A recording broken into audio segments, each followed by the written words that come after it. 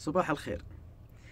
من العجيب أن صحن المطاف ومحيط المسجد الحرام إن فيه 28 بير غير بير زمزم.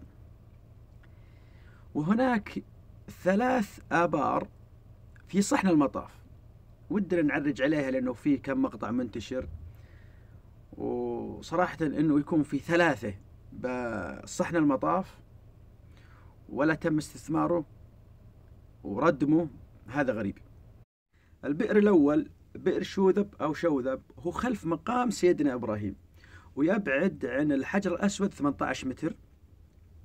واللي أمر بالحفر البير هذا معاوية بن أبي سفيان عندما تولى الخلافة عام الواحد والأربعين.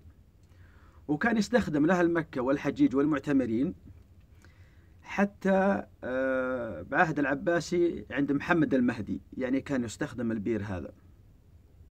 البير الثاني بير الداودية وتقريبا تبعد عن بير زمزم 8 آه، متر يقال إنه عند باب العمرة وتم ردمه أو إغلاقه أو حفاظ عليه آه، في التوسعة الأولى للدولة السعودية.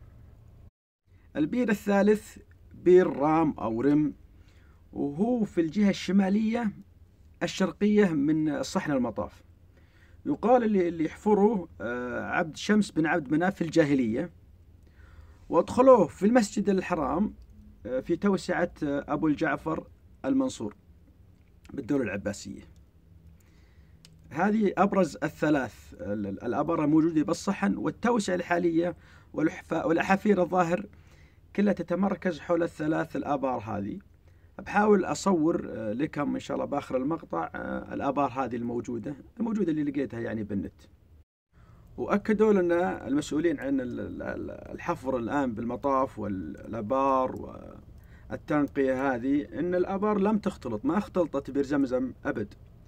والعينات اللي أخذت من الآبار المحيطة هذه وبير زمزم تختلف نسبة الملوحة والماء يختلف سبحان الله العظيم.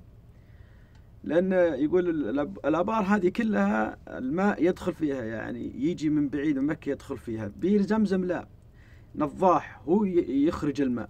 هذا الفرق.